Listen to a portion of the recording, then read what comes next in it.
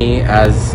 a staff member of the Boys and Girls Club feels really happy to, to be able to see the joy in the parents' faces when we tell them that we're going to be open because that means that the parents are able to drop off the kids here and they could go to work and be able to provide for their families while we are providing for their children. It's really an honor to work for an organization